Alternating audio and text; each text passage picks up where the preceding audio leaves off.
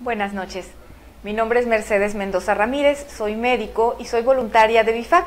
Soy la coordinadora de pláticas de prevención del embarazo en adolescente y hoy es el tema que vamos a tocar, los riesgos del embarazo en el, en adolescente.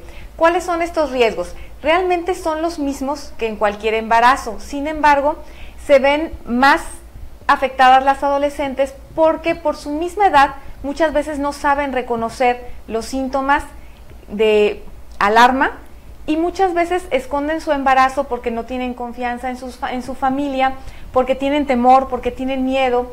Entonces, esto es lo que hace que una chica que esté embarazada, al no recibir atención médica, pueda tener un mayor riesgo en el desarrollo de su embarazo. ¿Cuáles van a ser estos riesgos? Principalmente anemia.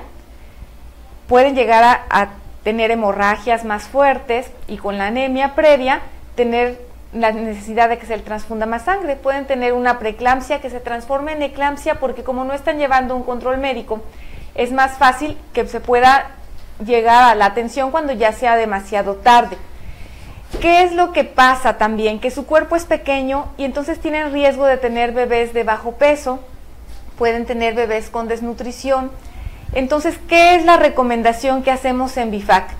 Aquí es una llamada de atención muy importante a los padres y madres de familia de estar en contacto, en comunicación con sus hijas, con sus hijos. Tienen que saber que aunque su cuerpo empiece a desarrollarse en la adolescencia, no quiere decir que ya tengan la madurez para empezar una actividad sexual. Entonces es muy importante que los padres hablemos con nuestros hijos, que les digamos que aunque ellos empiecen a sentir eh, la atracción hacia las personas, hacia sus compañeros, que deben de tener una madurez, deben de esperar a tener una madurez. Ahora, ¿qué pasa si una chica ya está embarazada? Aquí es muy importante decir que lo que necesita es atención médica. No podemos pensar, como algunos quieren opinar, que se realice un aborto porque esto tiene riesgos aún más graves para la salud de la niña. Si ya está embarazada, es mejor que sea bien atendida como un embarazo de alto riesgo por especialistas y no realizarse un aborto. ¿sí? Ahora, ¿qué es importante? Es establecer el lazo de confianza entre padres e hijos para que la niña ante cualquier situación problemática pueda hablar con ellos y llevarla a que sea atendida en un centro este, hospitalario con atención especial como un embarazo de alto riesgo. Queremos poner a sus órdenes a BIFAC, que es una institución que se dedica a atender a las mujeres embarazadas en situación vulnerable y las adolescentes precisamente son este tipo de pacientes que están en situación vulnerable.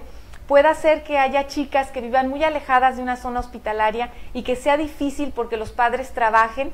Entonces pueden acercarse a BIFAC, donde ahí se les va a atender durante todo su embarazo para lograr que las, los dos, la mamá y el bebé, este, tengan un desarrollo pleno y adecuado. Quiero dejar a su disposición la forma de comunicarse con BIFAC, el teléfono es el 935-0581, el correo es bifacveracruz.gmail.com y el Facebook es Veracruz Bifac. Estamos a sus órdenes para atender a la mujer embarazada en situación vulnerable.